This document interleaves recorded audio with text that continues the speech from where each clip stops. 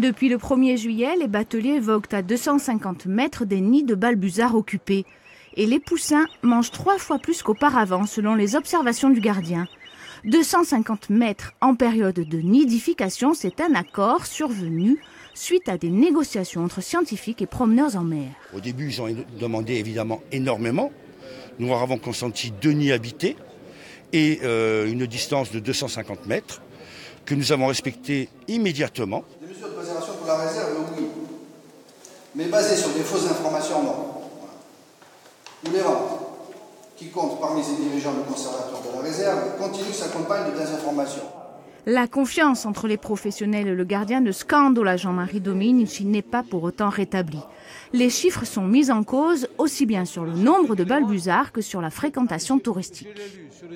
Nous passons de 790 000 sur trois mois d'été à 200 000 en l'espace de deux ans. Donc ça, c'est des choses erratiques. C'est des chiffres qui ne sont pas fiables. il suffit de lire simplement les rapports et de savoir les interpréter.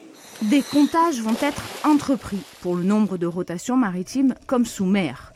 Mais selon l'Office et le parc, actuellement les mérous ne sont pas en danger, les corbes sont davantage menacées. La faune et la flore sous-marine n'ont pas subi d'atteintes irréversibles. Commençons par le début. Faisons des comptages réels. Euh, voyons l'impact qu'a les bateliers, mais pas seulement, puisqu'on n'est pas les, les seuls utilisateurs toutes les activités nautiques dans la réserve. L'association de défense de l'environnement Le Garde semble approuver, même si cette mesure n'est pas édictée par un arrêté formel. Seule la prud'homie des pêcheurs s'oppose. Les six pêcheurs autorisés seront pénalisés alors qu'ils n'auraient aucun impact sur le balbuzard. Si euh, ils déterminent une zone de protection sous les nids de balbuzard, euh, que les pêcheurs ne peuvent plus aller pêcher, c'est des zones qui ne sont pas dans la réserve intégrale.